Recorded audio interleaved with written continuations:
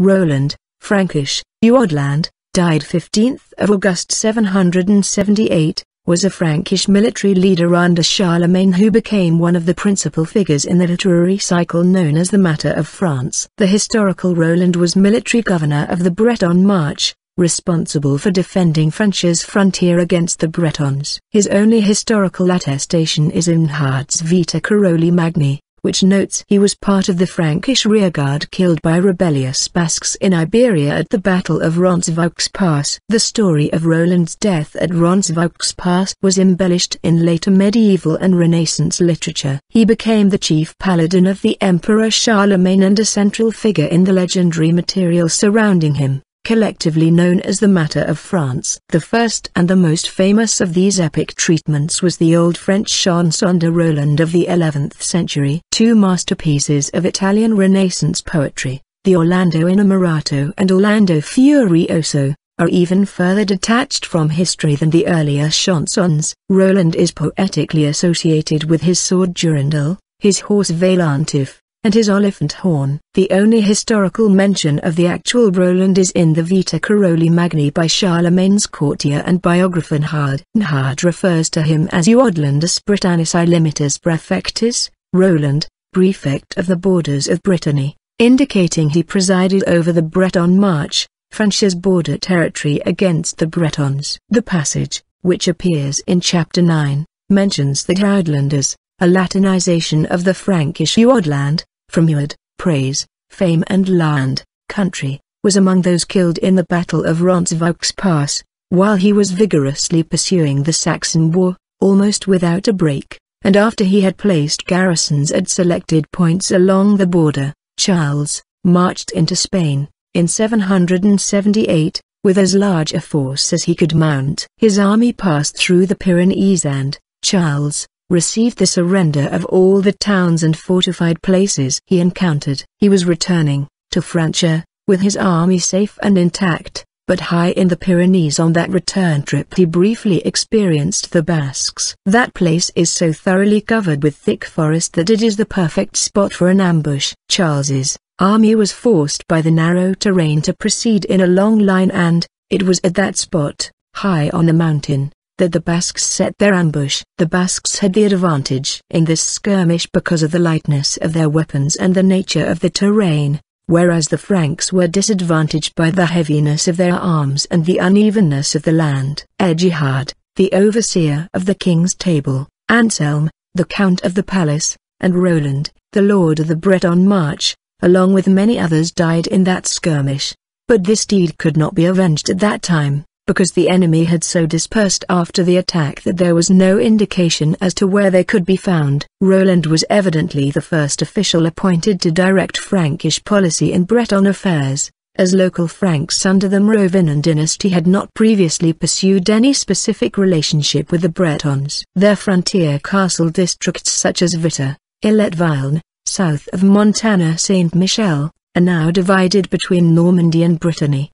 The distinctive culture of this region preserves the present-day Gallo language and legends of local heroes such as Roland. Roland's successor in Britannia Nova was Guy of Nantes, who like Roland, was unable to exert Frankish expansion over Brittany and merely sustained a Breton presence in the Carolingian Empire. According to legend, Roland was laid to rest in the basilica at Blaye, near Bordeaux, on the site of the citadel, Roland was a popular legendary figure in medieval Europe. Over the next several centuries, Roland became an iconic figure in medieval minstrel culture. Many legends made him a nephew of Charlemagne, whether or not this was true is unknown, and turned his life into an epic tale of the noble Christian killed by Islamic forces, which forms part of the medieval matter of France. The tale of Roland's death is retold in the 11th century poem The Song of Roland, where he is equipped with the oliphant, a signaling horn, and an unbreakable sword, enchanted by various Christian relics, named Durandal.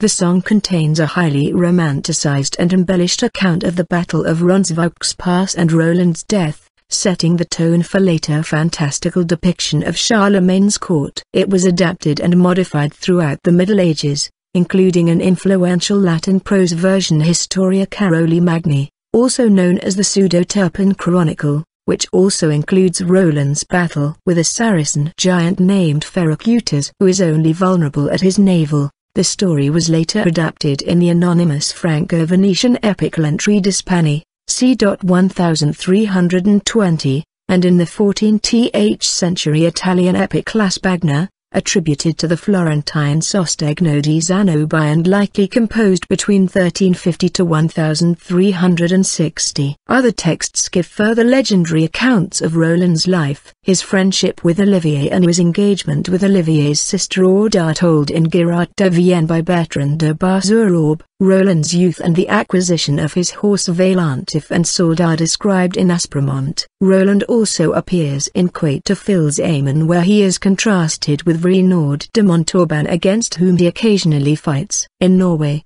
the tales of Roland are part of the 13th century Karlamagnús saga. In the Divine Comedy Dante sees Roland's spirit in the heaven of Mars together with others who fought for the faith. Roland appears in Entrée d'Espagne, a 14th century Franco-Venetian chanson geste, in which he is transformed into a knight errant, similar to heroes from the Arthurian romances, and La Spagna, a 14th century Italian epic. From the 15th century onwards, he appears as a central character in a sequence of Italian verse romances, as Orlando, including Morgante by Luigi Pulci, Orlando Innamorato by Matteo Maria Boiardo, and Orlando Furioso by Ludovico Ariosto. See below for his later history in Italian verse.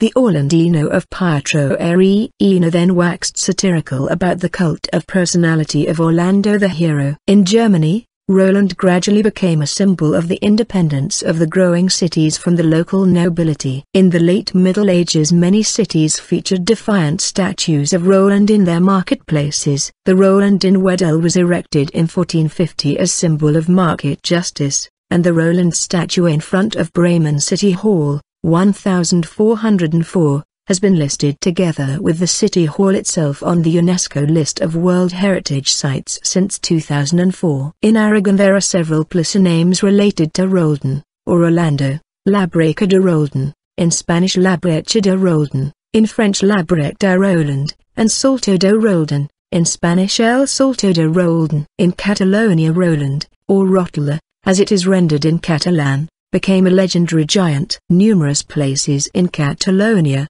both north and south, have a name related to Rotula. In step with the trace left by the character in the whole Pyrenean area, Basque turns up in numerous legends and place names associated with a mighty giant, usually a heathen, capable of launching huge stones. The Basque word Eraldoi, giant, stems from Eraldion, as pointed by the linguist Koldo Mitxelena. In the Faroe Islands Roland appears in the Ballad of Runsivalstríðið, Battle of Roncevaux. More recently Roland's tale has been exploited by historians exploring the development of the early modern Christian understanding of Islamic culture. In 1972 P. M. Holt used Roland's words to begin an essay about Henry Stubbe,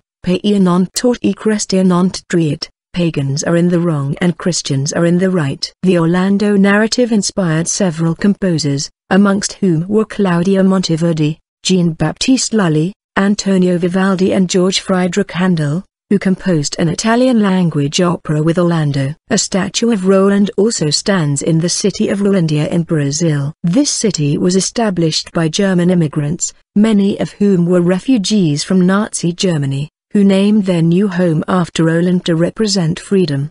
The English expression, to give a Roland for an Oliver, meaning either to offer a quid pro quo or to give as good as one gets, recalls the chanson de Roland, and Roland's companion Oliver.